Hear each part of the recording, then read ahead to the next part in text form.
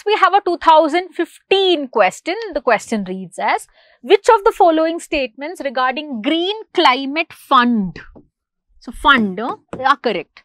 It is intended to assist the developing countries in adaptation and mitigation practices to counter climate change. It is found under the aegis of UNEP, OECD, Asian Development Bank and World Bank. So, they are asking about your Green Climate Fund. So, Green Climate Fund is something that was created to give assistance for your climate change related activities. So, statement 1 is correct. It's founded under the aegis of UNEP, OECD, none of these. It was founded in 2010 by your UNFCCC. Okay. So, the answer to this question is A, 1 only. Only the first statement is correct.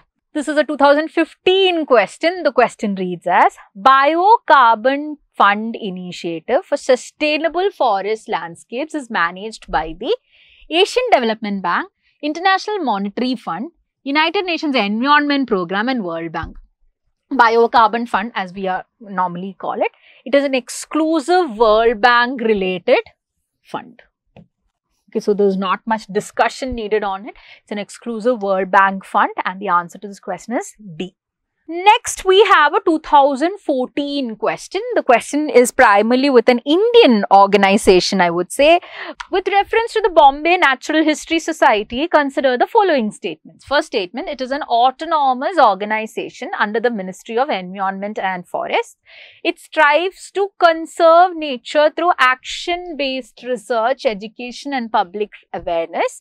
It organizes and conducts nature trails and camps for general public. The Bombay Natural History Society was, I mean, created in your pre-independence times and it is not an autonomous organization under the Ministry of Environment and Forest. So, it's a autonomous organization but not under the Ministry of Environment and Forest. It's its own, it has its own governing body, etc. So, option 1 is wrong. Option 1 is wrong. We're left with two options, two only, three. 2 is so correct. So 3 is what? It organizes and conducts nature trails and camps for the general public. That is also correct. The answer to this question is C, 2 and 3 only. Next, we come across a 2014 question. The question reads as, with reference to a conservation organization called as Wetlands International, which of the following statements are correct?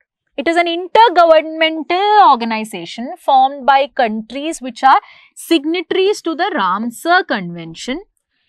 It works at the field level to develop and mobilize knowledge and use the practical experience to advocate for better policies. Now see, when it comes to Wetland International, it was an organization formed much before your Ramsar Convention. Okay, Ramsar was in 1971. Wetland happened even prior to that 50s, 1950s or so.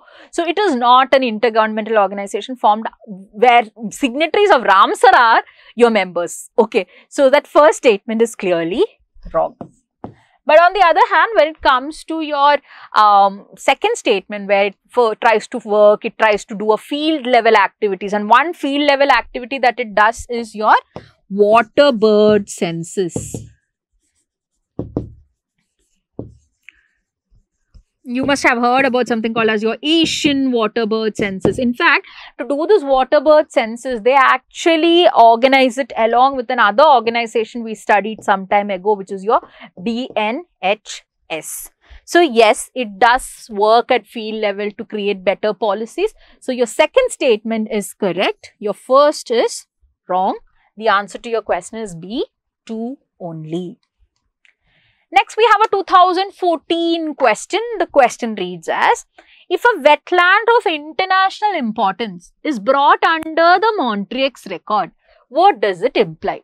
First statement, changes in ecological character have occurred and are occurring and are likely to occur in the wetland as a result of human interference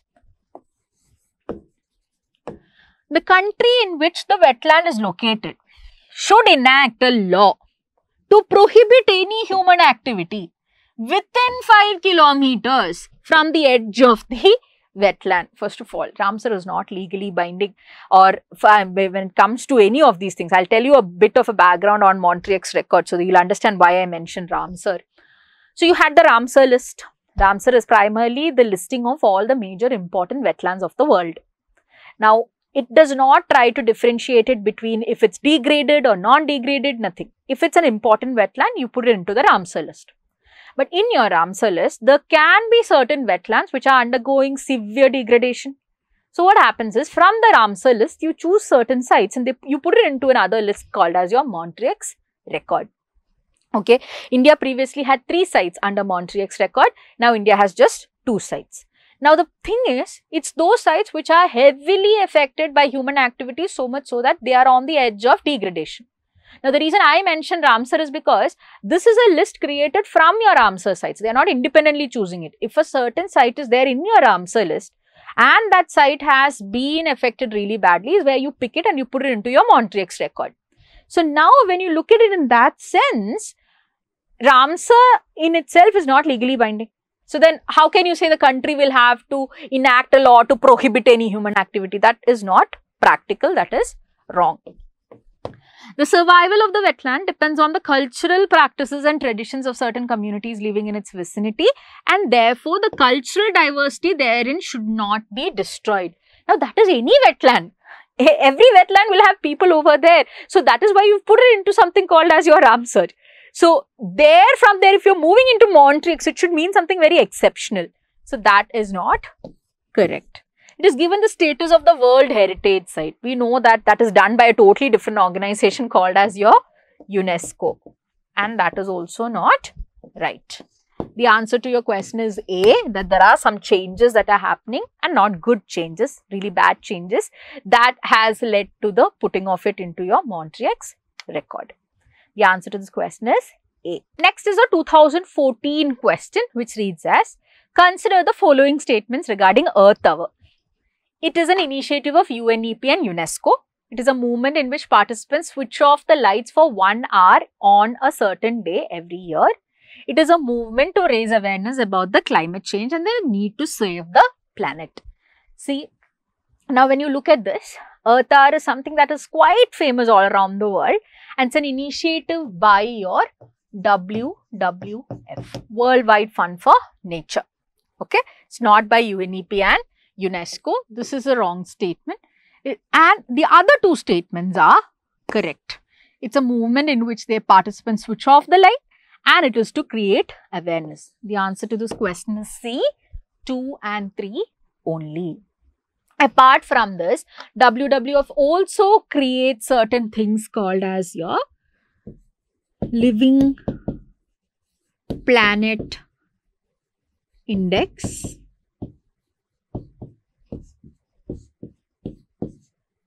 Debt for nature swap calculation of ecological footprint